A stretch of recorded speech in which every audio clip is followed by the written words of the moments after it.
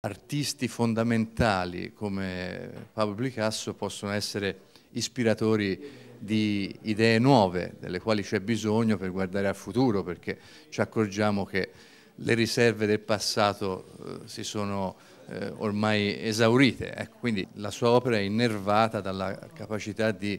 leggere i drammi e le contraddizioni di un'epoca, ecco, un'epoca, eh, l'epoca delle guerre mondiali, della Shoah, eh, l'epoca delle grandi rivoluzioni culturali, eh, delle grandi rivoluzioni politiche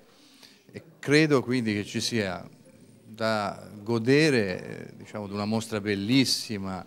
in senso estetico ma anche eh, di un percorso che ci fa molto riflettere oggi. Oggi che dobbiamo tornare ai fondamentali io spero che ci sia anche questa spinta e spero soprattutto che i più giovani possano eh, imparare tramite questa eccellenza a guardare alto, a guardare lontano.